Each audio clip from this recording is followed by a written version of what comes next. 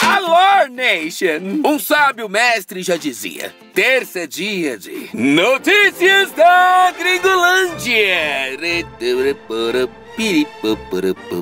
Vem comigo!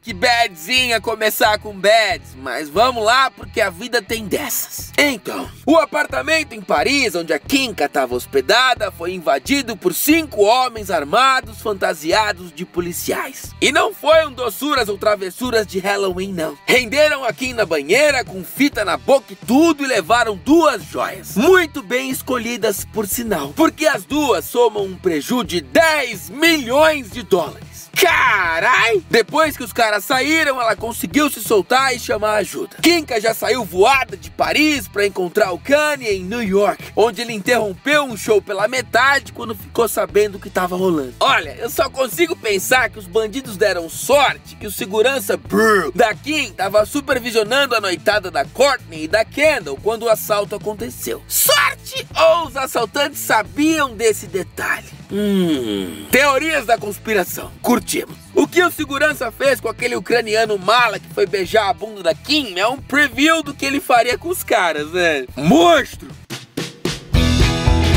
Podem descruzar os dedos. É verdade, verdadeiríssima. Gagão estará em Houston no dia 5 de fevereiro para explodir o palco do intervalo do Super Bowl. Ela instagramou um comunicado oficial na sexta e assim como nós, ela ainda não superou essa noves. Gaga contou que planeja esse show desde os 4 anos de idade e já sabe exatamente o que vai fazer. Não tem ninguém a fim de deixar nossos coraçõezinhos descansar, porque já começou um disque me diz sobre participações especiais. E claro, nossos cérebros iluminados pensaram juntos em só uma pessoinha. Que eu não quero nem falar em voz alta para não atrapalhar, então vou só escrever. Deus, pode trazer um tanquinho de oxigênio para nós dar uma acalmada, porque vai ser difícil esperar até fevereiro para ver esse telefone parte 2, o retorno, agora live, vai acontecer de verdade. Mas o treino para esse show vai ser logo ali no boteco da esquina. Gaga anunciou que a turnê de divulgação do Joanne vai passar por vários botecão copo sujo. A Lady Gaga Dive Bar Tour começa hoje, mas os locais são secretos. A tour é uma homenagem à tia Joanne. Ela disse estar vivendo a vida true que a tia não pôde. E um contratinho de parceria com uma marca de cerveja também não atrapalha ninguém, né?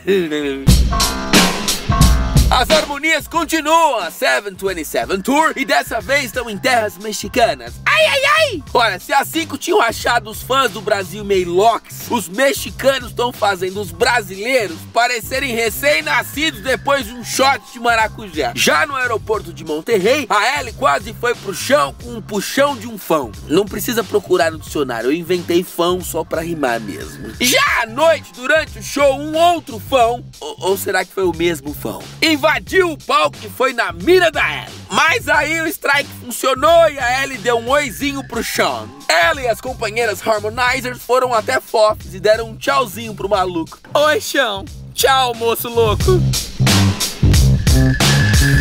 E essas foram as nossas notícias da Gringolândia.